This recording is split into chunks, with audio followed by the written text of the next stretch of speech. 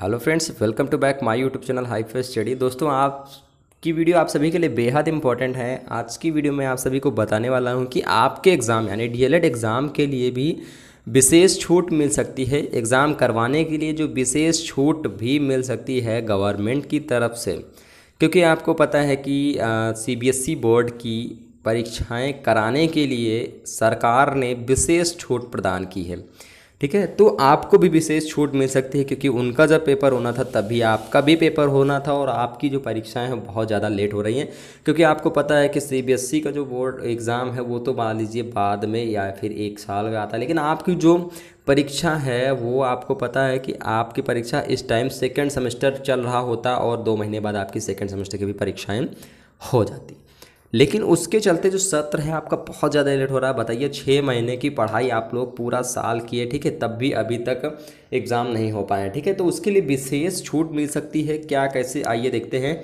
तो यहाँ पर दोस्तों, आप लोग देख सकते हैं कि 19 और 25 जुलाई को होगी पॉलिटेक्निक प्रवेश परीक्षा, ठीक है? इसकी भी बहुत ज़्यादा इसके, इसको भी पिछाड़ा जा रहा है, इस, इसको भी नज़रअंदाज किया जा रहा था कि हाँ अब होगा पेपर, अब होगा। ठीक है, लेकिन अब यहाँ पर आ गई है कि 19 और 25 जुलाई को इसका पॉलिटेक्निक का जो है, वो होगा, ठीक है? यहाँ पर आपको टाइमिंग भी दे दी गई है और उसी प्रकार से आप यहाँ पर देख सकते हैं कि छोटी बोर्ड परीक्षाएँ स्वकेंद्र स्वकेंद्र में होंगी। यानी छोटी जो बोर्ड परीक्षाएँ हैं, वो कहीं पर ना हो के और स्वकेंद्र यानी जो अपना केंद्र है जहाँ पे आप पढ़ते हैं, वहीं पर देंगे ये लोग, ठीक है? सीबीएसई बोर्ड वाले। और यहाँ पर आप देख सकते हैं कि दसवीं और बारहवीं की परीक्षाओं के लिए छूट मिलेगी। ये अमित शाह ने कहा है, ठीक है? तो इसी प्रकार से आप ये भी कह सकते हैं कि आपके जो डीएलएड एग्ज़ाम हैं, उनको भी विशेष छूट मिलने वाली है। बहुत जल्द, क्योंकि आपको पता है कि पीएनपी भी अपनी तरफ़ से पूरी कोशिश कर रहा है कि हाँ भाई एग्ज़ाम करवाने के लिए। लेकिन जब तक सरकार का कोई आदेश नहीं आता है, तब तक नहीं कराया जा सकता, ठीक है? तो उसके लिए क्या होगा कि 30 जून तक तो आपका एग्ज़ाम होगा ही नहीं यूपी में, ठीक है? वो यूपी में 30 जून तक एग्ज़ाम जो है, वो नहीं होगा। लेकिन एग्ज़ाम जैसे ही 30 जून क्रॉस होता है, मैं गारंटी लेता हूँ कि आपकी एग्ज़ाम के लिए बहुत जल्दी तैयारियाँ हो जाएँगी। और आपका एग्ज़ाम अगर हो सकेगा तो शायद जुलाई में ही करवा लिया जाएगा, जुलाई के लास्ट तक। क्योंकि तीस जून तक तो यूपी के गवर्नमेंट ने कह दिया है कि भाई कोई भी हम एग्ज़ाम नहीं करवाएँगे, कहीं पर भी हम भीड़ नहीं इकट्ठा होने देंगे।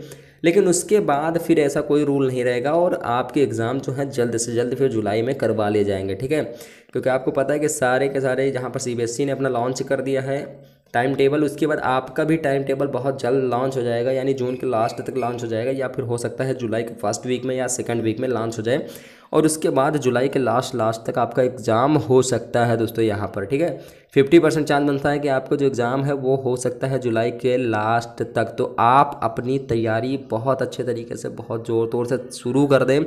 और एग्ज़ाम अगर आप सेकंड सेमेस्टर पूरी तरह से पढ़ रहे हैं और आप सोच रहे हैं कि हम फ़र्स्ट आप नहीं पढ़ेंगे तो ऐसी आप गलती ना करें। आप अगर फ़र्स्ट सेमेस्टर की तैयारी करते हैं या फिर आपका एग्ज़ाम अभी नहीं हुआ है तो आप ये मत सोचिए कि डायरेक्ट प्रमोट कर दिया जाएगा। आपके एग्ज़ाम ज़रूर होंगे और आप एक काम करिए, आप लोग अपनी पढ़ाई निरंतर शुरू कर दीजिए रिविज़न शुरू कर दीजिए।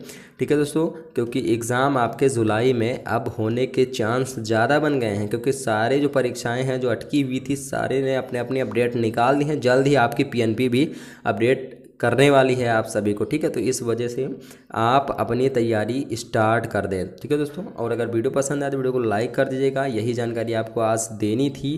तब तक के लिए थैंक यू सो, जय हिंद, जय भारत। मिलते हैं फिर नेक्स्ट वीडियो के साथ।